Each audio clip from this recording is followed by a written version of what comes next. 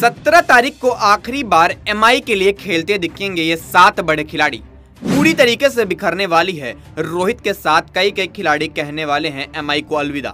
एक पांड्या के आने से टूट गई पूरी मुंबई इंडियंस। अब ना इधर के रहे, न उधर के। एमआई छोड़ने वाले खिलाड़ियों के नाम सुनकर रह जाओगे दंग। जिन पर ऑक्शन में लगेगी करोड़ों की बोली। जमकर बरसेगा पैसा।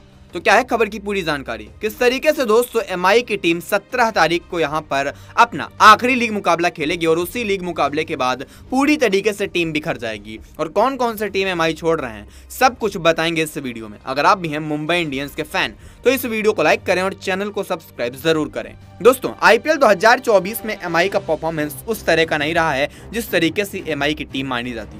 अब एमआई के अगर आप पॉइंट टेबल के रिकॉर्ड को देखोगे तो एमआई ने अभी तक तेरह मुकाबले खेले हैं, जिनमें उन्हें केवल चार मैचेस में जीत मिली है। नौ में हार का सामना करना पड़ा है।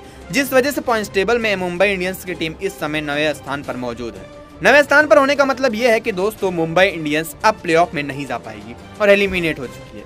लेकिन मुंबई का अगला मुकाबला जो है, वो आईपीएल का सड़सठवा मुकाबला होगा। और ये मुकाबला मुंबई इंडियंस लखनऊ के लिए यहाँ पर खेलेगी, यानी लखनऊ के खिलाफ खेलेगी। और ये मुकाबला लखनऊ के यहाँ पर दोस्तों खिलाफ जो मैच खेलेगी मुंबई, ये मुंबई के ही ग्राउंड पर होने वाला है। लेकिन यही मुकाबला मुंबई इंडियंस के बड़े बड़े खिलाड़ियों का आखिरी मुकाबला हो सकता है मुंबई इंडियंस फ्रेंचाइजी के लिए।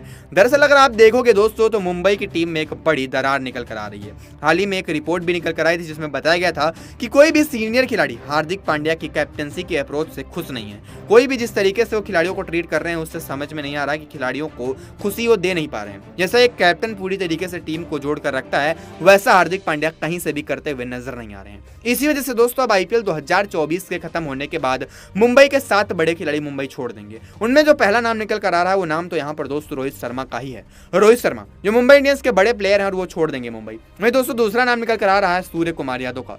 सूर्या भी अच्छे खिलाड़ी हैं, लेकिन सूर्या ने मुंबई को जिस तरीके से बनाया था, उस तरीके से मुंबई इंडियंस अभी तक यहाँ पर दोस्तों आगे कर नहीं पाई है कुछ। उसके बाद दोस्तों, जो तीसरे खिलाड़ी हैं जो खेल में यहाँ पर दोस्तों मुंबई को छोड़ेंगे, वो होंगे अर्जुन तेंदुलकर। अर्जुन तेंदुलकर भी उन खिलाड़ियों में से थे जिन्होंने मुंबई इंडियंस के लिए यहाँ पर दोस्तों काफ़ी अच्छा क्रिकेट पिछले साल खेला था।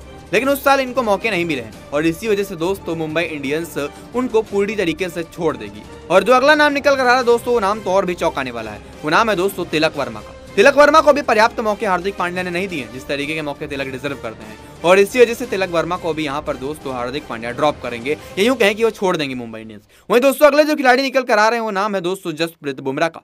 जसप्रीत बुमराह ने तो क्लियर कर दिया कि मैं मुंबई का ये आखिरी सीज़न खेल रहा हूँ। ऐसे में दोस्तों, ये खिलाड़ी छोड़ेंगे वो, जो यहाँ पर दोस्तों एक रूल निकल कर रहा है, वो यहाँ पर दोस्तों अगले साल, दो हज़ार पच्चीस में बड़ा ऑप्शन होगा। यानी सबसे बड़ा ऑप्शन जो होगा, वो दो हज़ार पच्चीस में ही होगा, जो कि यहाँ पर दोस्तों सभी सभी टीमों के बड़े बड़े खिलाड़ी छोड़ देंगे टीम। और इस वजह से मुंबई के भी खिलाड़ी छोड़ रहे वैसे आप इस पर क्या रहा है कॉमेंट करके अपनी राय ज़रूर देना। वीडियो अच्छी लगी हो तो लाइक करें और चैनल को सब्सक्राइब ज़रूर करें। वीडियो देखने के लिए आपका बहुत बहुत धन्यवाद।